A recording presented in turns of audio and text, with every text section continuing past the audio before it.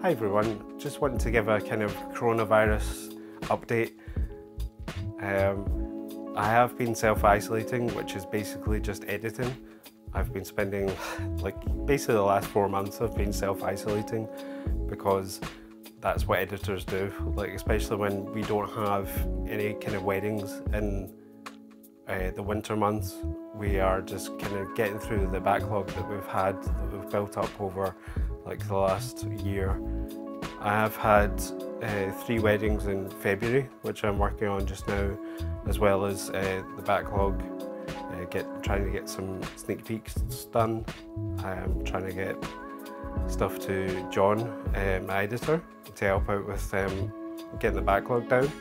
Um, we're, all, we're all basically there with um, stuff getting finished in terms of the last couple of years. It's just, uh, it's taking its time to get through everyone individually.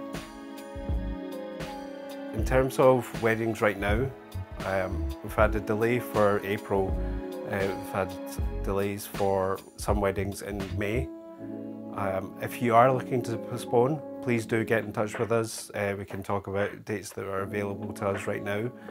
Um, also, if it comes down to it and I'm not available, I do have a group of videographers that can help out, uh, substitute for the day, and I edit the film uh, after the wedding.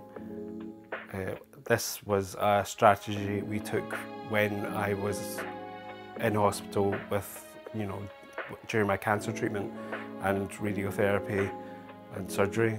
Um, so I've got, I've built up a good number of trusted videographers that I can rely on um, if it comes down to it and I'm not available on your wedding day, on your new date. So please do get in touch if you are looking to delay your wedding. Um, we're speaking to, you know, the weddings for May. Um, some in, in, June are wanting to delay, uh, but I would say hold off on that maybe until the end of April because uh, we don't know how this is going to go. It seems to just be day to day in terms of, you know, if venues are going to go ahead with it, if uh, venues are going to close. Um, I understand if family members aren't able to attend, then you are looking to postpone your wedding. That is, you know, perfectly fine. We're understanding about that.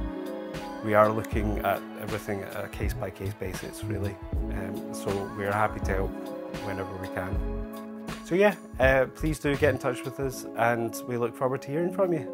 Thank you.